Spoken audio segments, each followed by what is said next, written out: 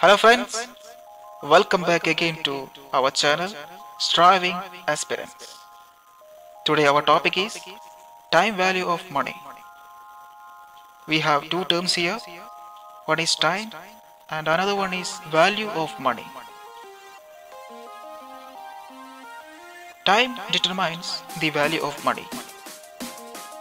When the time passes, there will be changes happening in the value of money. Let us consider two situations to understand this concept better. The first case, if we are getting an offer to select or to accept 5000 cash amount today or 5000 cash amount at a future date, what will be the usual preference? With no doubt we can say the usual preference will be to accept that 5000 cash amount now instead of taking at a future date. Consider another situation to pay 5000 cash amount now or at a future date.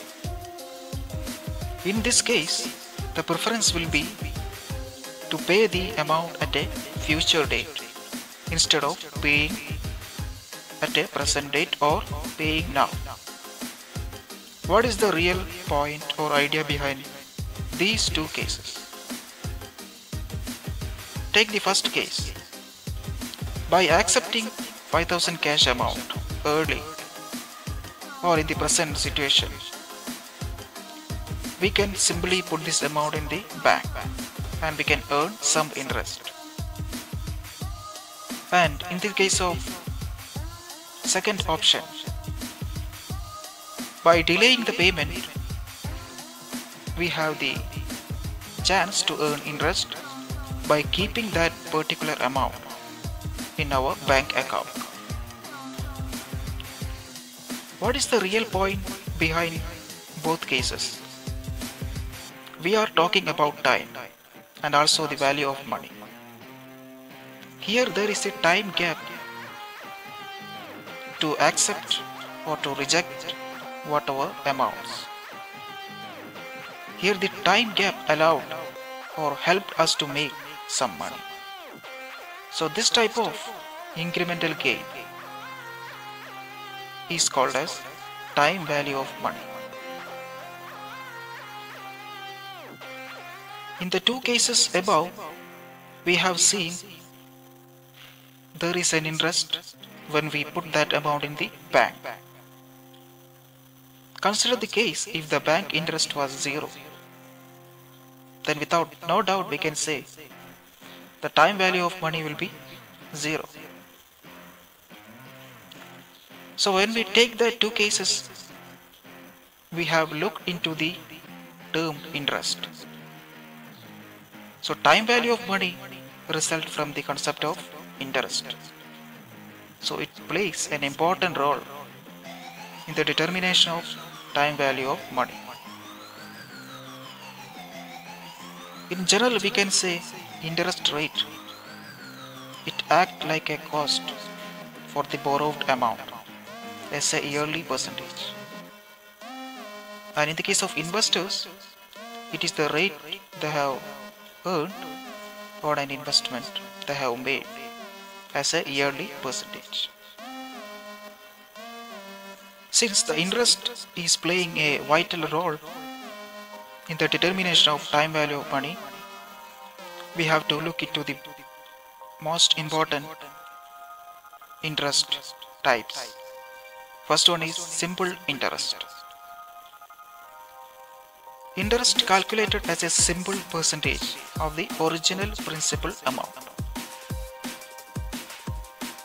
The original principal amount means we have seen in the previous slide some amount we are depositing like 5000 amount or 10000 whatever the amount. That amount is called as principal amount upon which we are earning the interest. Here we are earning the interest on that original principal amount. Formula for calculating simple interest is SI equal to PO multiplied by i multiplied by n. Here SI means simple interest, PO means original principal amount, I interest rate per time period in decimals, N number of time periods. When we talk about simple interest, we have to add one more term to this one that is future value. If we add principal to the interest amount, we will get total future value FV also known as terminal value. For any simple interest rate, the future value of an account at the end of n period is FV n equal to PO plus SI and simple interest we have already know equal to PO plus PO into I into N. Now let us see one example to understand this simple interest. If you invest 10,000 that is principal amount in a bank at simple interest of 7 percentage per annum. What will be the amount at the end of 3 years? Future value FVN equal to PO plus SI. So the amount will be 10,000 plus 10,000 multiplied by 7 percentage into 3. So the answer is 12,100. So that will be the amount we are getting after 3 years. Now we will see the compound interest. In the case of simple interest, we have calculated interest on original principal amount. But here, the interest will be calculated on total of previous earned interest and the original principal. One point we have to note here is that the amount calculated on the basis of compound interest rate that will be higher than when it is calculated with the simple interest rate. Now we will check an example to understand this compound interest.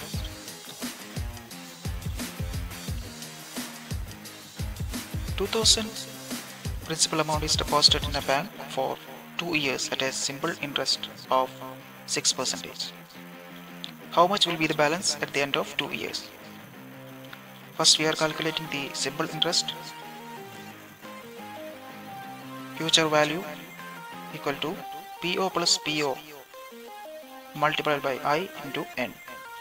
That is 2000 plus 2000 multiplied by 6 percentage into 2 years equal to 2000 plus 240 and the future value will be 2240 now we will come to calculate compound interest.